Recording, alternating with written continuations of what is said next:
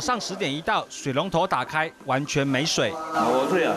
自来水公司进行管线连接工程，大台中七个行政区二十一号早上十点起停水四十七个小时，冲击近三十万用户。民众提早储水，不管是浴缸还是脸盆，只要能装的，通通拿出来装水。能够储水的话，就尽量多储。水公司规划一百一十九个免费的临时供水站，民众提着水桶排队装水。晚上不是还要洗澡，还要煮饭。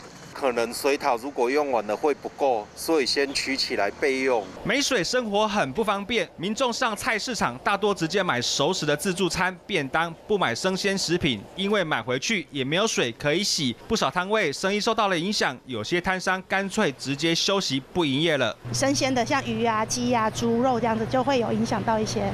停水冲击生活，有休闲会馆业者停水期间免费提供盥洗设施，让民众可以来这里洗澡。其实老板真的蛮佛心的，他愿意提供给附近的民众用水，这是相当不简单的。考量到给群众方便，然后希望他们把那个存下的水用来煮饭，然后。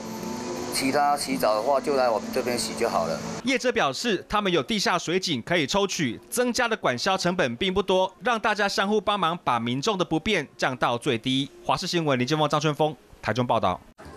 华视新闻看起来，赶快订阅我们的华视新闻 YouTube 频道，欢迎按赞、订阅、开启小铃铛，最新最及时的资讯要提供给你。